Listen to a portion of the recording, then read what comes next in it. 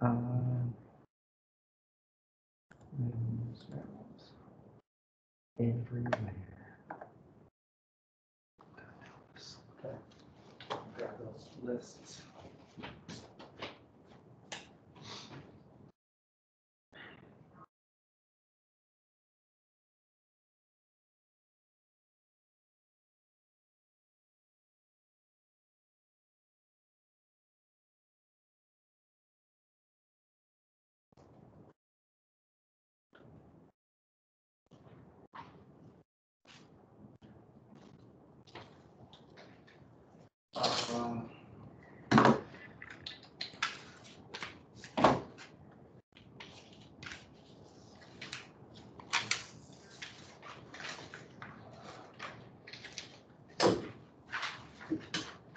There's a stapler there. You guys want? Maybe. no. That'd be the last, the camel that really went there. It's gonna break down.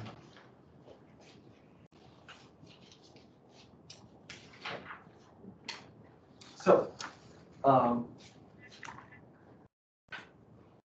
the, Where's the projector?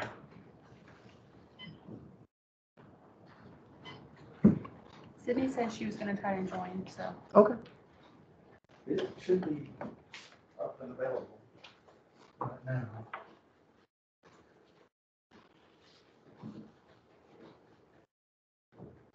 Okay, a couple housekeeping things. Um, Thank you. Thank you. Next week Wednesday. So a week from tomorrow, what is that, um? November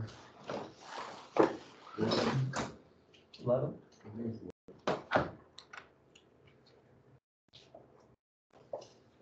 Study guide. Um.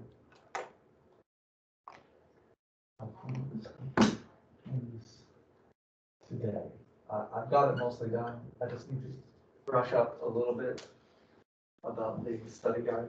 Um, And then that gives us basically, we have three weeks, full weeks of class.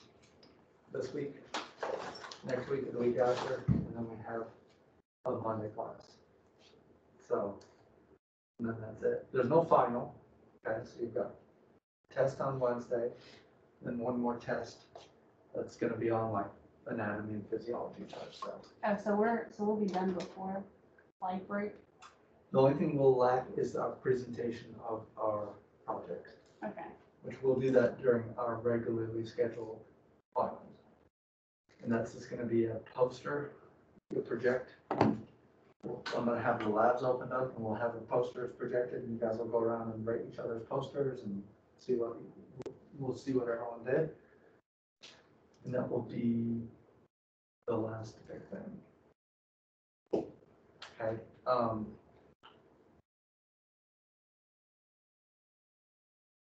So I, I'm whole, I, I do, you know, you guys have to believe when I say I try not to backload everything or have everything due at the end. Mhm. Um, but I think a lot of the stuff we do, I guess there's one more, uh, progress report. Um, there's the, but you've got an, uh, annotated bibliography done. The spreadsheet exercise is due coming up soon. Friday. Um, and that, that's not a huge assignment. Guess I'll see the video for how to do that, Mhm. okay? So you um, want us to just do it and then give our like explanation of like what it means, basically? Yeah, I would, like the P value, you know, just give me some context for what that is. Okay. Um. And, um. Yeah. The second lab practical is gonna be all pictures. It's gonna be birds, it's gonna be mammals. Birds, common name, and order. And the mammals will be Latin names and order. Okay, Just like on the sheet here. Um, I've got some specimens out, um, honestly, more just FYI, just so you can see, see these different, um, a lot of these species are ones that we are learning in here. This ovenbird, this is Junco, we don't have that, but like, um, waxwing, or wren. Um, so those are just out because they're dyed and we've got them in there, so I'm not gonna pull them out. Um, today we'll go through the pictures for the, um, mammals presentation. I'd say probably the mammals, besides the Latin names, most of these things, I would say a, good bulk of these things are familiar to you. It's animals that you've seen before, you've thought about. Uh, so a lot of it is re- remembering the, the scientific name and the order. Okay. So I'll try to give you little tips about remembering them. Um, of course, this is our one marsupial, Marsupialia, the order. Um, Didelphis. Di means two, Delphis means womb. So, uh, possums have a forked penis and a, and a forked vagina. And I think they, I'm pretty sure that they always give birth, no, no, they don't give birth to twins, because they give birth to multiple. It's, um, nine-banded armadillos always give birth to quadruplets. Yeah, I don't know why. Why do they have a, why is it forked? Great question. Great question, one that I do not know the answer to. Let's, let's go to Google. So that, that just helps you to remember, um, why do possums, why do possums die? Hey, come faint, stink, freeze, nope, have a forked penis. I'm pretty sure they do, maybe I'm, yeah, forked penis correlated with a structure. And so again, didelphis means two wombs. Um, how do possums mate? So.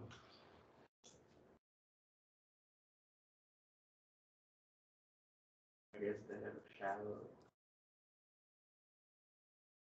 I guess it's like a greater chance to get, you know, like to reproduce, because if there's, it's, I mean, two chances are better than one, I don't know. Yeah, but, but, okay, so say they have two wombs, then how many fallopian tubes do they have? Four?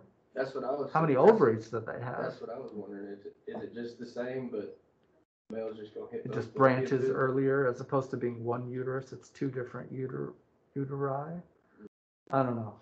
Honestly, uh, that's one of those, it, it, I, I think that there's sometimes it's just a, just like a, some kind of mutational mistake and it may not even have an adaptive function.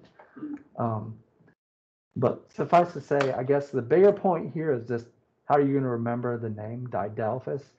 Just remember, uh, that they have two wombs. Okay, um, and if you, if anybody misidentifies this on the, um, second lab practical, then you fail. Just like summarily, it's written in the syllabus, you guys probably didn't see that part. Um, but yeah, it'll make it a lot easier for me, I don't even have to grade your poster because you just failed the whole class. And actually, you get removed from the Reinhardt University, so, um, no more biology, you can never say the word biology again, okay?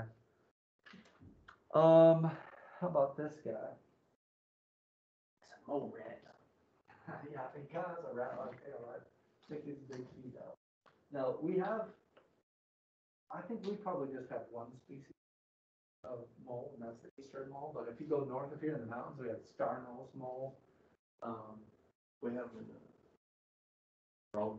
do you have star nose moles, the ones that have the big, Yeah, at Lou, okay, huh, that's interesting. they're all around our house.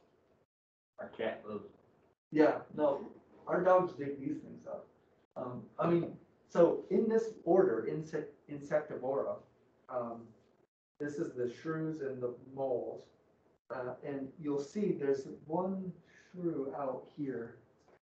Um, and you can kind of get an idea about the pelage or the, that really short and very dense fur. Oh, that's so cute. Yeah, I've got a, a mole at home I'll bring in.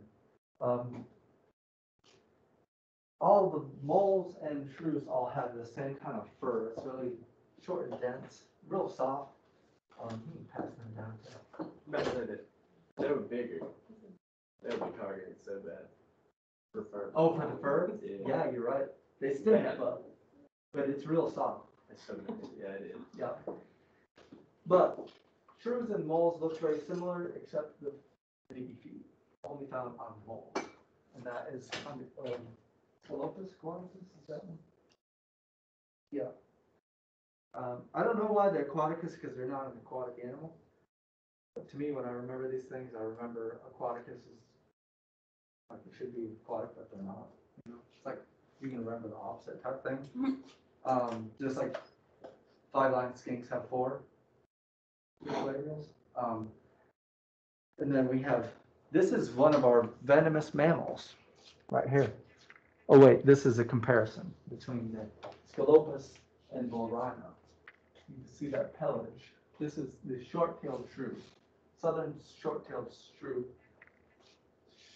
Yeah, say that five times fast. And they are, um, one of about five species of mammals in the world that are venomous.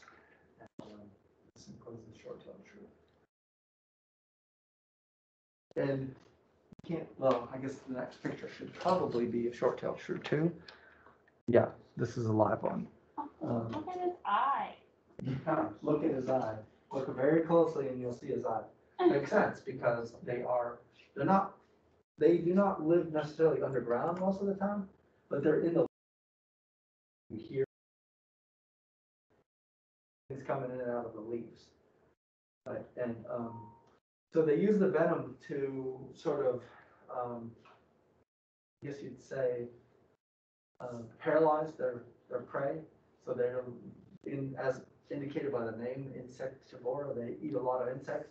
They'll envenomate the little beetle and then they'll just stash it in their little lair. And it stays alive so it doesn't rot, but then eventually they'll just come back and eat it. Super high metabolism. Um, shrews eat just constantly. Um, and so they're very, very active, um, kind of voracious predators. Very common animal. Um, another type of shrew, uh, and, and shrews are interesting because there's a lot of them that are um, only found in the northern part of the country, which doesn't make sense because they're so small. You'd think that would be too cold for such a small animal. But um, I don't know if they come down the mountains, how far they come down. Um, but we definitely have Blarina carolinensis and Sorex longirostris. Shrews have been dealt with bad hand, because if they stop eating, they pretty much die. Yeah. Their metabolism just That's kind true. of fall So uh, I've done some work trapping these guys and if you catch one of these little, uh, there's one that's called a pygmy shrew and they're with a tail, they're like this big. Mhm. And you, if you tear them open, they'll- they'll just like cannibalize each other. Um, they're so, uh, they're just, if you catch them in traps, they almost always die because you can't, they need to feed every couple of hours. I know. So definitely shrew-like for small tiny eye, doesn't have the big big feet, but his tail is long relative to his body. They're a lot smaller than a um, Blarina too. Yeah. So the southern short-tailed shrew, they're the home campus. Yes, I found one a couple of years ago, it was dead. Yeah. no question. Cats, cats love to kill them, but they don't like to eat them. Yeah, that- I've never eaten them. Yeah, I think they just stink too bad. But look at this, as such they're really, uh, this group Sorex are some of my favorite animals. Long tail, but they're small. Sorex longirostris is probably like this big. Um, yeah, can't, I don't think you're gonna confuse them. Long nose, but long tail. That will give you a Sorex. And the only one I'm making you responsible for is long, Longirostris, what are you getting from that? Longirostris, long tail. close, long. No, ro- like your rostrum is, would be the snout part. So you get this long snout on them. Okay, um, Chiroptera, very diverse group of, of mammals, the Chiropterans, the bats. And we have probably, I would guess we probably have at least ten species of bats on campus. But I just picked out some ones, A, that didn't see. and B, that we can actually identify. A lot of this group, like especially in this first one, Myotis, um, they're, you've gotta be an expert to, to identify the Myotis. Um, and there's a couple that are endangered, so you can actually make pretty good money if you are that expert. Number one, you have to have your full rabies, that, uh, course of vaccines to handle them, because they do carry rabies quite regularly. And you've gotta be really skilled at identification. But these myotis, this is Lucy fugus, Lucy means light. Got Lucy in the sky with that, Lucy means light, fugus, like a fugitive, means you flee from the light, so lucifugus means a, you know, like a cave dwelling animal. Lucifugus, the little brown bat, little brown myotis. So again, um, if you are out there and you see a bat, the rules that you're learning for identification here only work relative to the other two bats that you need to know. Right? You find one that's brownish and little in the real world, it could be one of a whole bunch of different species.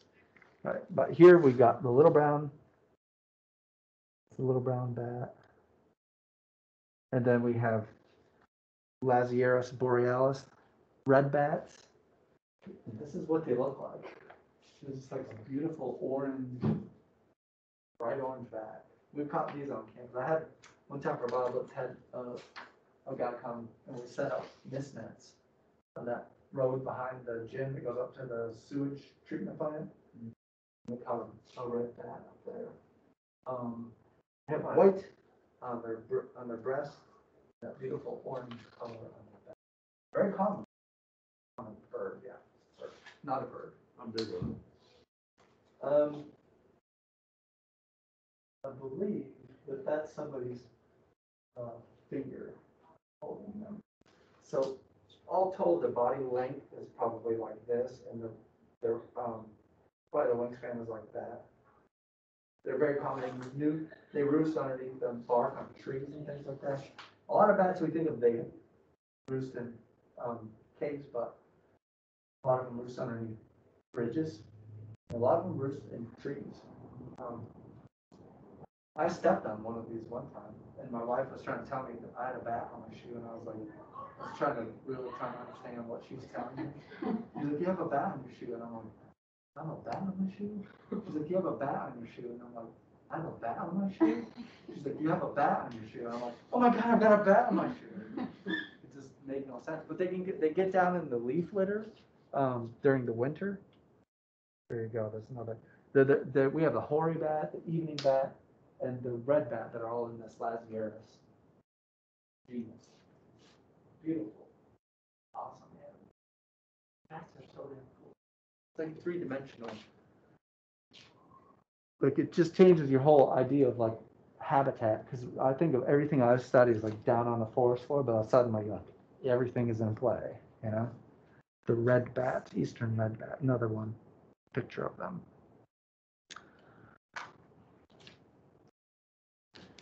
Mexican free-tailed bat.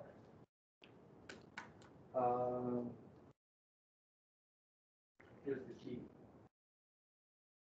Tail goes beyond this membrane. Membrane between the rear legs. We see the myotis and the Lasiurus. The tail, the membrane comes to the tip of the tail. Right. That membrane comes down to the tip of the tail. Not so on the Mexican free-tailed bat. Look at that Oh, yeah. very strange. So you guys have seen um, pictures or heard of this um, the bridge in Austin, Texas with bats. I love Google. It doesn't even matter. Every night, you can line up there and just see thousands, no, millions of bats stream out of this, this, underneath this bridge. They go out over the agricultural fields, come back and roost there during the daytime. These are all Mexican free-tailed bats. Hmm? Oh yeah, they eat so many insects. They eat so many insects over the river and over the They field. like it. Yeah, so there's there's a place too called Sauta Cave and over Guntersville. Isn't like, is that like South Saudi? Yeah, so where 72 crosses um, Sauta Cave. Yeah. Yeah. Where where um where 72 crosses over Guntersville, like going from Chattanooga to Huntsville. Yeah. I've been here to see this. This is just mind blowing. Uh, like one, two that's kind of coming out. And it actually warms the air. There's so many bats like crapping on you and up in this, uh, you kind of see it not particularly well, but, um, black rat snakes just sit up there and just, Just pick off these bats as they're flying out. The black rat snakes. It's really something to see. And they're um, on top of myotis. Um, it's a uh, gray bat. So they would look most like the myotis lucifugus. Or, so there's the Mexican free-tailed bats. Bats are very difficult to study though, because how do you get a bat in hand? You have to catch it. And then when you have them in hand, then you've got to worry about rabies. So um, they do make a, a, a um, technology called Anabat, and it's basically a high frequency recording device. And you look at the sonograms of their of their calls, and you can sort of discriminate which species based on their their. Which I, I really would love to do some of that work because that's um, are very interesting. And there, there's a lot of, there's a disease that had gone around maybe four or five years ago called white tip syndrome, white nose, white nose syndrome. Somebody went to Europe, went caving, picked up this fungus on their shoes, came back to New York, walked into a cave, spread the fungus. Millions and millions of bats died. It's just a total, it's like coronavirus. It's a total novel virus uh, fungus that bats in the United States had never been exposed to.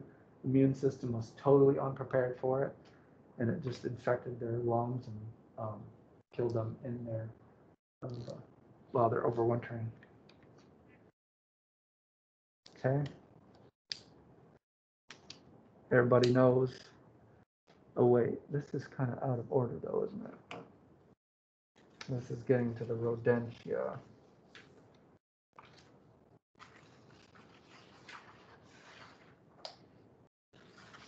Let me see if I can put these in order. Next should be what the non-banded armadillo.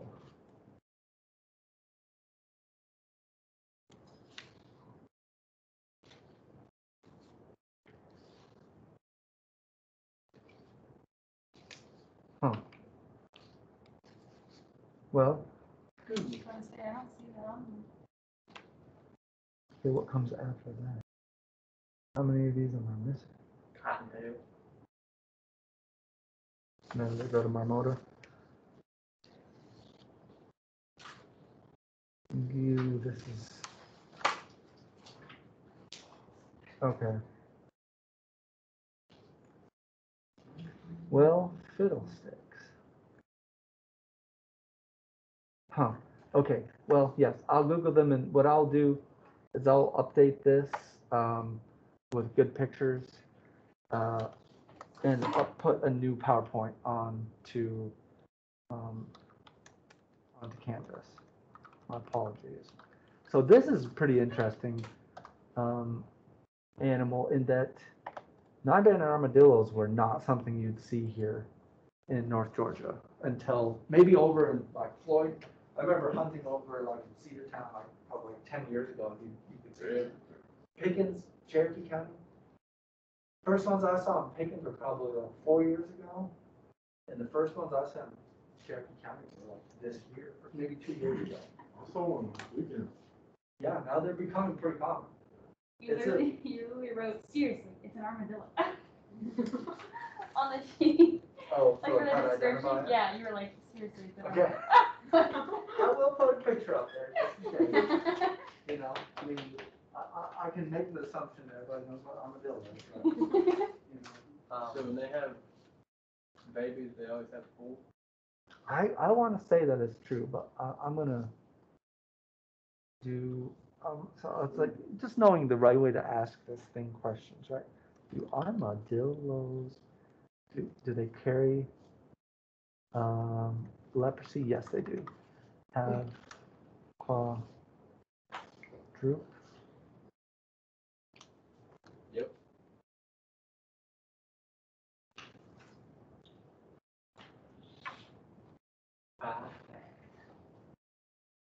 Nearly always have litters of four babies, identical quadru- quadruplets. Huh. Yep. Oh yeah, they can jump.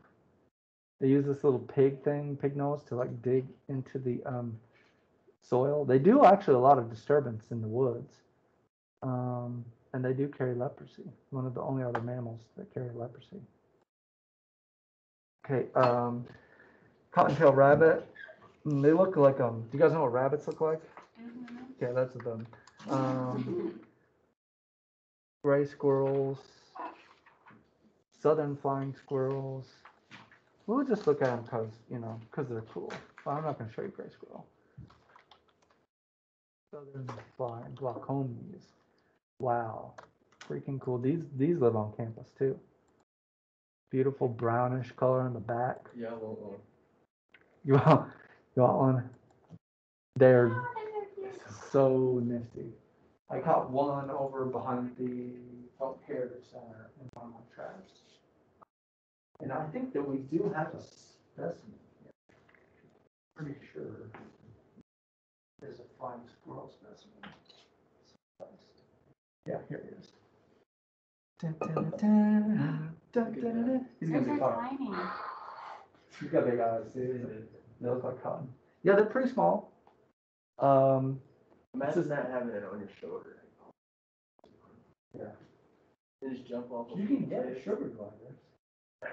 You can get sugar gliders, which are, I want to say the sugar gliders are marsupials. This guy's definitely a placental mammal, but not a marsupial.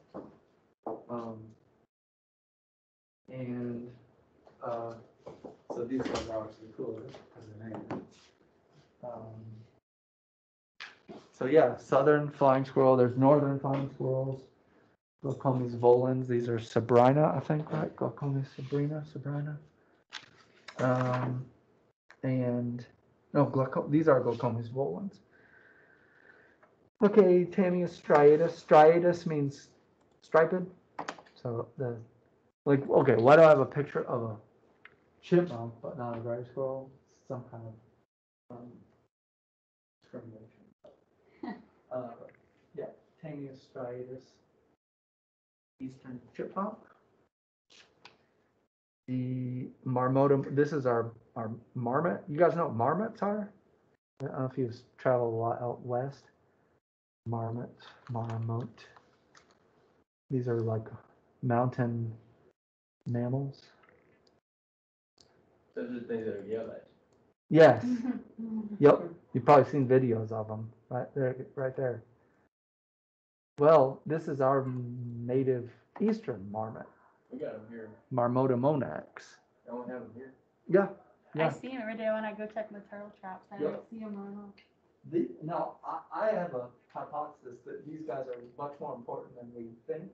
Um, uh, it was probably two thousand and ten, I was out in front of the art building. There's a little nose of land, goes out, there's a blue spruce and it goes down to the lake.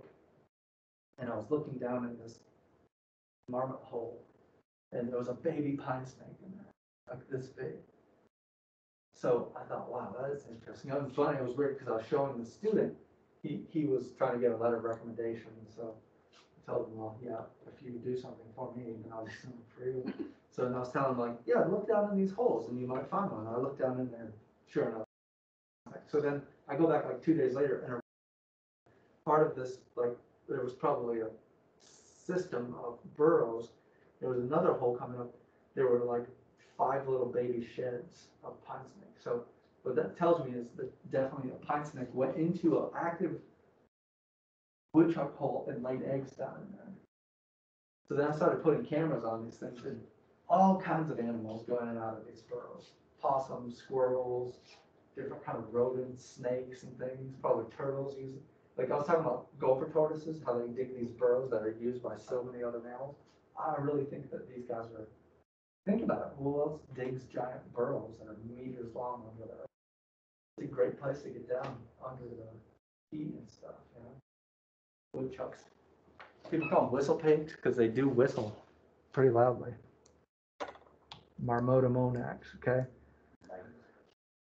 The largest, our largest rodent at least, um, Castor canadensis, you know, castor oil used to come from these guys. Uh, have one specimen.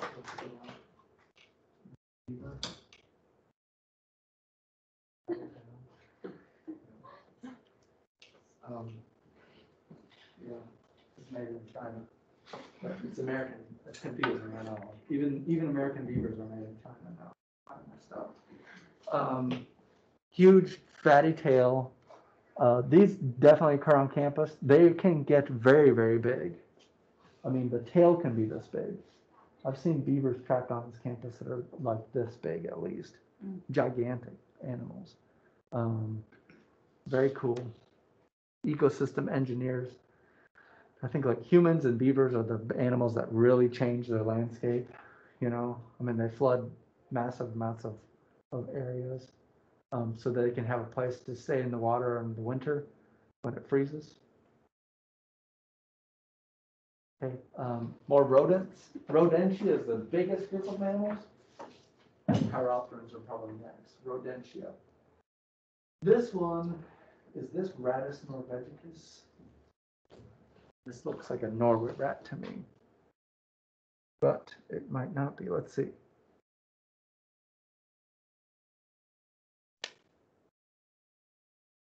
Okay, yeah, no. Okay, these guys are confusing. This and this are native wood rats, Neotoma floridanus. Floridanus, Floridana, Neotoma floridana. Okay. Um, look at the long tail and it's hairy.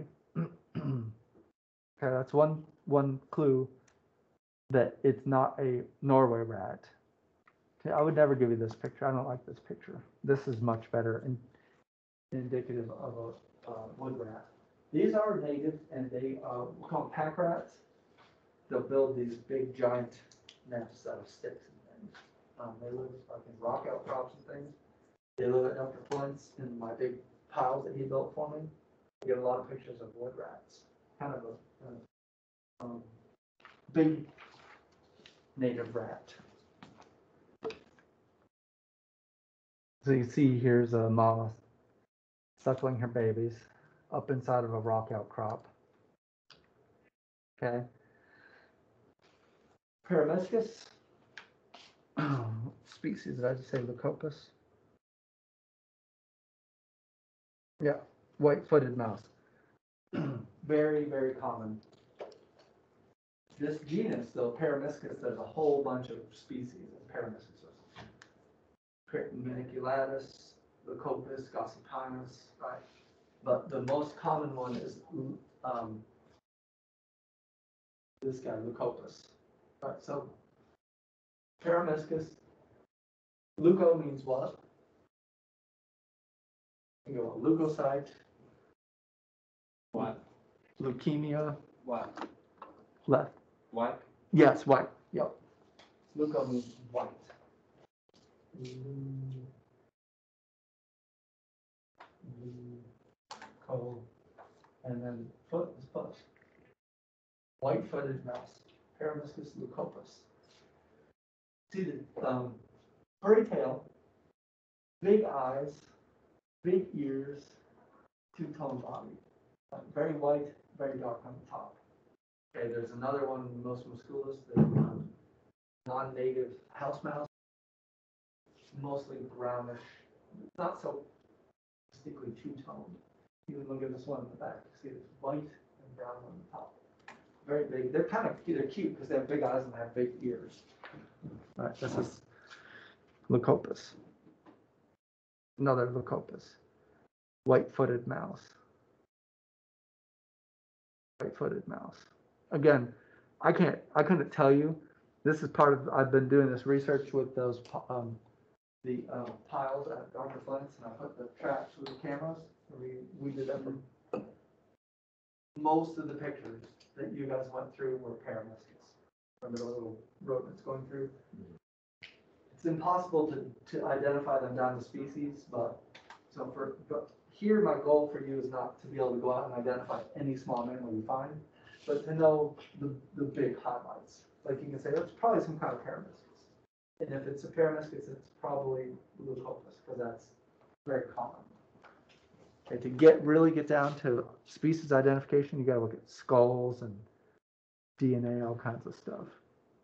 Okay, now, compare that wood rat, the Neotoma, to our non-native Norway rat, Rattus norvegicus. Um, That's a rat. So what about, what's a rat like though? What, what is it? What's the quintessential? That tail. Okay, more, more naked tail, It almost looks like a, s- like a snake. Yeah. the tail, yeah, because it has little scales on almost, right? Um, That's like. they're big, but they're actually no bigger than, those wood rats are like this big.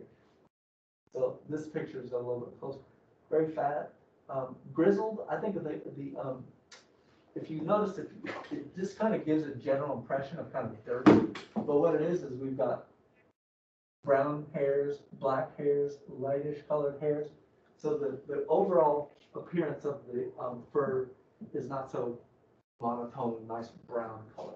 okay? It looks, we, I call this like grizzled. Um, and so this is a Norway rat. Have you ever seen a wolf rat? No, We used to have a lot of those in our, uh, chicken houses. okay, wolf or wharf rats maybe? Yeah, I think they're all this. They were just, they were huge. People call, I think that, you know, people call them roof rats or wharf rats, or, but I think they're all Norway rats. Again, another Norway rat, just it's, they're cool, I mean, they're really smart and they're neat and adaptable and everything, they're very biologically damaging. I think the ears are a little bit smaller. Think about what makes things look cute, big eyes, big ears, right? Compare that to yeah, to this guy or this guy. They just look more friendly and happy. This guy, I, I don't really like this picture because, again, that, I could see that being a Norway or wood rat. Okay, so this should be, um, yeah, no, house mouse. Okay, so I, I kind of think about them then to kind of draw this out, then I would say furry tail.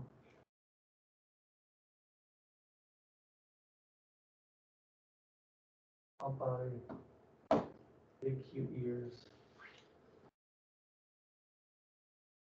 Big cute eyes. And then if you had a small version, tail. That would be, the big one would be a wood rat. A small version of the same thing, furry tail. And two tone, right, dark and light on the bottom. The two, the small version of this would be Peromyscus.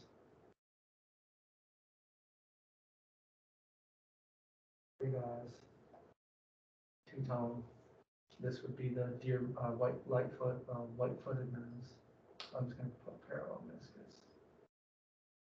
And then over here, you got this sort of naked tailed, beady-eyed, creepy looking cat.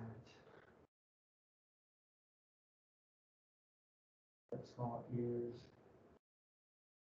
And then you got the smaller version of that would be the house mouse. Or Mus Musculus. Here's Rattus. Even, even the name sound. So I think that this kind of looks like a little tiny, it's a little cuter in that his ears are definitely bigger than the rat's. But see that grizzled appearance and he doesn't have the real sharp definition between the ventral side and the lateral side. It just kind of blends in, sort of brownish colored. Same thing here. Compare him to this guy. Compare, and that's another Peromyscus. Compare this guy to this guy. Alright. Rodents are hard. And we're just touching the, just barely brushing the surface. There's a lot of rodents. Okay, um, our native large carnivore here, Canis latrans. Think about Canis, the canids, canine, uh, dogs. Canis, uh, familiaris is the domestic dog. Canis lupus is the gray wolf. Canis rufus is the red wolf. Canis latrans is the, um, coyote. And they're all can hybridize. All hybridize. They're all in the same genus. Um, people will tell you that these in, are are invasive. If you look at the native range of coyotes, they were out west and then they spread east in historical times. There's some evidence that they actually have some wolf genes in them, that they came from the west up through like Canada and the northeast and then spread down to the southeast. If you look at western coyote, they're much, much smaller than the eastern coyote. It's a big 80, 80 pound animal in some cases. But I don't think, for, as for identification, there's really nothing you can confuse this. Maybe with a gray fox, but not really. Vulpes, Vulpes. Amazing. Also native. Got one. Actually, Keith was telling me his grandfather shot it and he stuffed this. It's a good, very good uh, skin there. Okay, what about this little guy here? It's like a cat fox, gray fox, Uri Scion Denario Argentius. Look at these guys, very pretty. A lot of people don't really even know that we have two native foxes. Very common. I've seen a lot of these. I've seen more of these than I have red foxes. Considerably smaller. Um, this is a red fox, or gray fox here. They do have some of the same red, but there's also a lot of gray on their face. They're climbers. They'll nest in trees. Native carnivore. Carnivora is the order.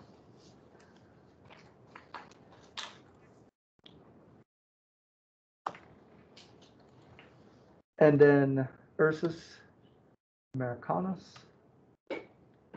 American black bear. Um, becoming much, much more, we tend to think of these, these animals as becoming, predators becoming more rare. But these, this species made a big comeback in Georgia.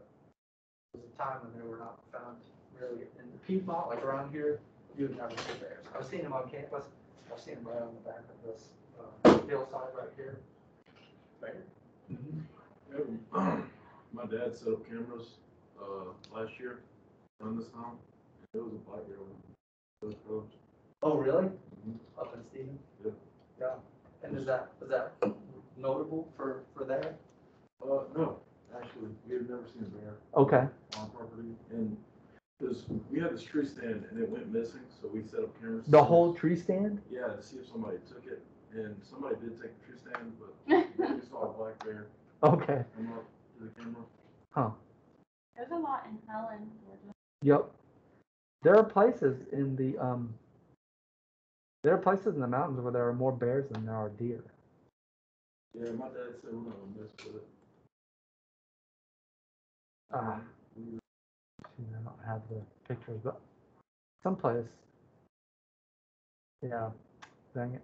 I've got a picture of, a- of a video of them, of a, a black bear at Dr. Flint's and it like walks right over to the camera. You can see a, a spider on its face. It gets so close. Cool, very cool animals.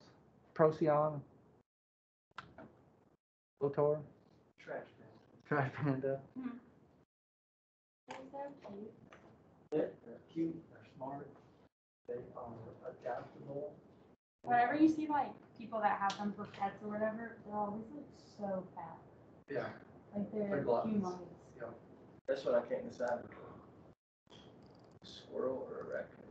Um, I think a raccoon would be kind Yeah. of cool. I'd rather have a raccoon. Yeah. We came real close last year, Yeah, I'm, a friend of mine, and he's in the sheriff's department, so I kind of felt, it's definitely illegal. But, Yeah. you know, if it's given to you by a sheriff, then it's kind that's of not like, illegal. Who's gonna arrest you, right? Right. The sheriff just gave it to you. Um, But the problem is they're long-lived, they're pretty long-lived animals, and, um, you know, it's kind of like, what happens when the, the, the seven-year-old gets tired of a raccoon? or something? Alright, you're kicked out. Huh? Alright, you're kicked out. Yeah, exactly. They do not take no for answers very well. Um, but they, they also can get rabies, um, pretty easily. A lot of these animals go through cycles, uh, where they're common and then not common. Um, I think it has, a lot of that has to do with rabies. Um, also, One animal that people sort of forget lives here. This is a skin over here. Seen them a couple times. They're big. These things are with the tail. I mean, they can be this big, no problem.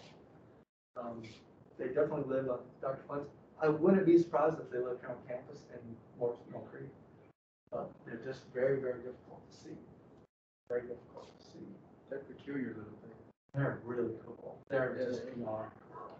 Um, they eat a lot of fish, mussels, super dense fur. Um, yeah, I mean, what can you say about? Aren't they the ones that like they'll be in the water and they'll like use their stomach as like a tray or something when they eat? those are uh, sea otters. Yeah. But river otters do the um in the in they'll build slides and just slide down the um, muddy banks or particularly in the snow. Um, yeah, river otters. Those were funsies.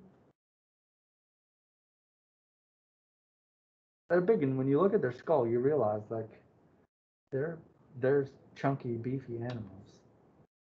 Okay, guess closest thing you could confuse them with. These are all in the family Mustelidae. Um, Mustela, this is Mustela frenata. The long-tailed weasel.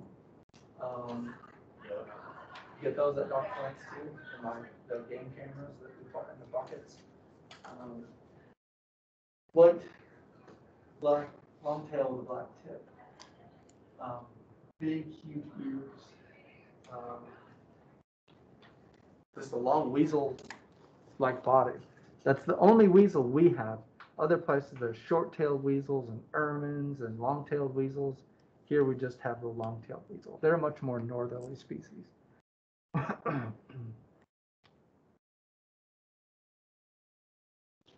See a weasel without the white belly. And, um, I guess you could possibly confuse these with a river otter, but face is longer, not so broad, much smaller. Beaks are like this big. They're, they're fairly uncommon. I've seen these in the woods too. Maybe They're like along creeks and, um, definitely uh, an aquatic, not fully aquatic, but they like they like it around the water. The mink Mustela vison, vison. I saw a video, I mean, there's actually a movie, like a cartoon movie, about, it's either a weasel or a, a weasel or a mink, Okay. they were fighting like, snakes, you know what I'm saying? Oh no, mongoose. That's mongoose. Mongoose, yep. And that's a um, I don't know. I don't think a mongoose is a is a mustelid. So Mustelidae is this family. It's hilarious. Mustelidae. We'll go to Wikipedia, and it will tell us. Oh wait, they probably are then, because honey badgers are in this too. They don't give up. Yeah. So look at all the subfamilies in this. Okay. yeah, badgers too. Wow, weasels, American badger, um, ferret badgers, martens, a wolverine. So, What's a Ma- Marten look like? oh, martens are real cool. Um, let's see. He's a. What's his name? Always track. Martes Martes. This is pine marten. They, they look like a big weasel. Oh, This is northern. We again we have those in where I grew up. Another real cool one is this the Fisher. They specialize on eating porcupines. I had you guys some porcupine quills. I was bringing them back. I stopped and picked each one of you guys some porcupine quills, and I left them in New York. Let's see if my brother will um will send them to me though.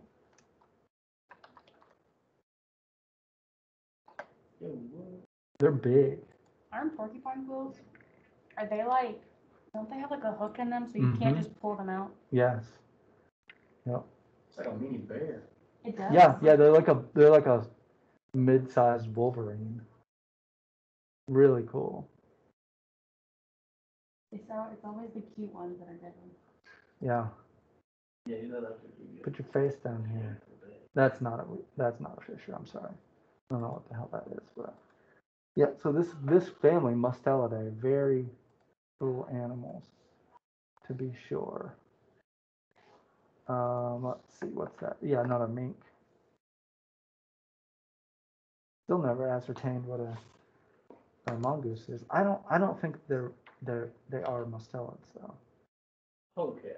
Yeah, bullcat, striped skunk, so cool. Mephitis, Mephitis. Well, we do have two species of skunks and. and- That should be easy. Hmm? I said the name should be easy.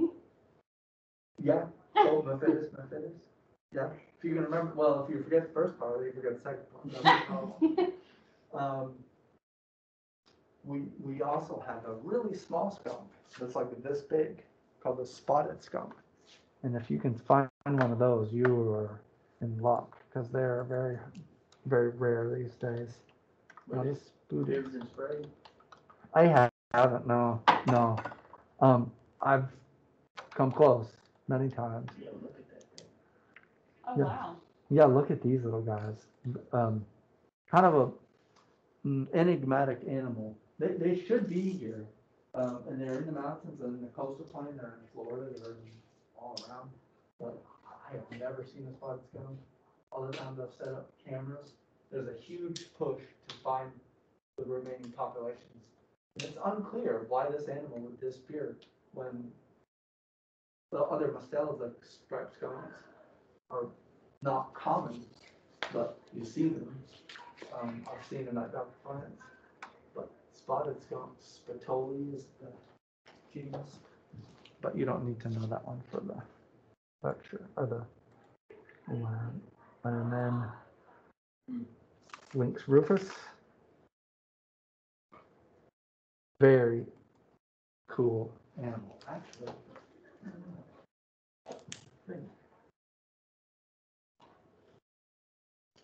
thing right there can jump twelve foot. Yeah, I had Okay. one, we have a box stand on my property, mm-hmm. and it just, it- we have one that lives under, it. A, bu- a bobcat? yep, Seems freaking scary. You ever heard of one? Mm-mm. Yeah. Sounds like. I, I, this is a pity, but I have getting, a friend of mine shot this thing with like a deer rifle, obviously it didn't do Oh, that. no. But the whole s- face is on here and the claws and everything. It's another thing I ran out of time. Yo, he smoked that. Yeah, he shot right in the neck. Uh, Fifty yards away. With what? like a thirty out six or something. So, it, and he, he's immediately, anybody that I know, I mean, I know a lot of people who kill a lot of animals, unfortunately or unfortunately. Everybody that's ever shot one of these is like, why did I do that? Yeah, that- Look at this thing. They're, they're so damn cool. And when you, when you can hold one in your hand, it's just like this weird gangly animal, really long legs. Um, and just people just didn't know right to go and shoot one. You can't eat it. And once you kill, shoot it like that, you can't do anything with it. So Larry gave it to me to make a specimen with, but it's a lot of work. No, I, I haven't. It kind of raised kind of blood curdling, huh? Yeah, it's kind of like a woman. Yeah. Um, and then whitetail deer. You could probably go to the window and find one right now. There's, there's one right, no, I'm just kidding. Um, so, those are the mammals. I would say probably the ones that you may run into difficulty with are those rodents, wood rat, nor rat, white-footed mouse, house mouse. Um, but other than that, I mean, just flashcards and look at this, memorize those- those names. this mine is just your. That's you. Okay. Um. So that's the last of the materials that you're gonna need to know for lab. And here it is, uh, just November. So I'm gonna try to think about what we wanna do with our remaining lab time. Um, we may do some, we may do some dissections, we might, um, go out in the field, um, go to Dr. Flint's and for birds. The late, this time of year is pretty good for a lot of waterfowl migrating through. Um, I'm not really honestly quite certain what we'll do, but, um, but I think that's, that's meant to be a encouraging words, that they're not gonna just keep piling on stuff that you need to know for the second lab. Okay? So just focus on, When is the lab practical? we'll make it that, we'll, um, we'll make it the very last day of class, so the twenty-fourth, I think, Tuesday, the, Yeah, Tuesday the twenty-fourth. then three weeks from today. One, two, three weeks, yeah. So that should be a good, good grade for you. But if you don't spend time with those scientific names, it will not be a good grade for you, right? Um, in your power, it's up to you. Okay. All right, thanks, Sean. If you look over, we'll have to talk to specimen. Yes, please, I encourage it, because that's how you learn. She's like, Yeah, it was called Rikki-Tikki-Tavi. Oh, yeah, that's an old, um, Yeah, I used- story. Yeah, I used to watch the movie when I was young. Okay, it's a, um, who's the guy that wrote that, Ricky Tikitavi? Yeah, very famous. oh, you mentioned the, um, the project that we're doing. When is that?